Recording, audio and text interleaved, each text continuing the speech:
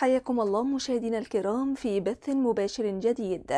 لليوم الخامس على التوالي تواصلت العمليات العسكرية بين الجيش السوداني وقوات الدعم السريع على الرغم من تدخل أطراف محلية وإفريقية وإقليمية إلا أنه يبدو أن الطريق للهدنة وتنحية المعدات والآليات العسكرية جانبا ما زال طويلا ما هي قصة القائد الكبير الذي وقع في يد الجيش السوداني؟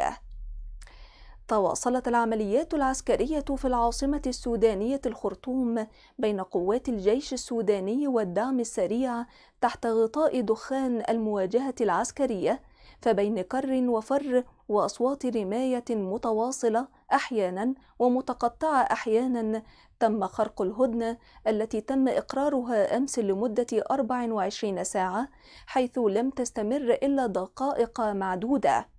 وفي نفس سياق الأزمة اتصل وزير الخارجية الأمريكي أنتوني بلينكين بقائد الجيش السوداني عبد الفتاح البرهان وقائد قوات الدعم السريع الفريق أول محمد حمدان دجلو حمدتي وقال بيان لوزارة الخارجية الأمريكية إن بلينكين أكد الحاجة الملحة للتوصل إلى وقف العمليات العسكرية والسماح بتقديم المساعدات الإنسانية للمتضررين. وأعلنت في وقت سابق قوات الدعم السريع الموافقة على وقف العمليات العسكرية لمدة 24 ساعة لضمان المرور الآمن للمدنيين وأصحاب الحاجة إلى رعاية صحية. وفي نفس الوقت وافق رئيس مجلس السيادة السوداني عبد الفتاح البرهان على الهدنة لمدة 24 ساعة من أجل العمليات الإنسانية على أن تبدأ مساء الثلاثاء الساعة السادسة بالتوقيت المحلي. إلا أنه وبعد دقائق معدودة من دخول الهدنة حيز التنفيذ تم خرقها وتعالت أصوات الرماية ودخان الحرائق في العاصمة الخرطوم ليلقي كل طرف من طرفي النزاع اللوم على الآخر ليعيش المواطن السوداني كابوسا لا يعرف متى وكيف سينتهي. وأعلن حزب الحرية والتغيير أنه يتواصل مع الجيش السوداني وقوة الدعم السريع لتثبيت الهدنة دون الكشف عن مزيد من التفاصيل. وعلى الصعيد العملياتي واصلت الصفحات الرسمية لكلا الطرفين نشر البيانات المدعومة بالفيديوهات والصور للتحرك على الأرض حيث نشر الدعم السريع مقطع فيديو لإحراق عددا من مروحيات الجيش السوداني في قاعدة النجوم جنوب الخرطوم.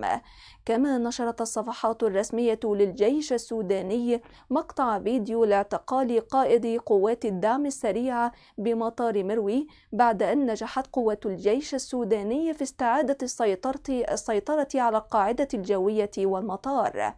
هذا وأكدت العديد من المصادر الصحية أن عدد, عدد ضحايا العمليات العسكرية ارتفع إلى 144 وسط محاصرة مئات الطلاب في جامعة الخرطوم والآلاف في المنازل لا سيما في المناطق التي تدور فيها العمليات العسكرية بالقرب من الأماكن الاستراتيجية.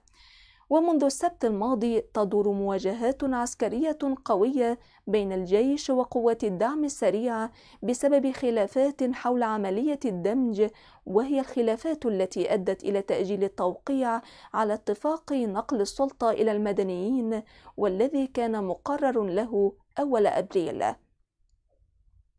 ومع تضارب البيانات وتغير الأوضاع على الأرض باستمرار لم يتضح حتى الآن حجم سيطرة كل طرف أو موقفه الميداني ومناطق نفوذه. لكن استمرار المواجهات يؤكد أن الأمور لم تحسم بعد لمصلحة أي طرف من الطرفين ليعيش المواطن السوداني كابوسا لا يعرف كيف ينتهي. شكرا مشاهدينا على حسن المتابعة دمتم في رعاية الله وأمنه.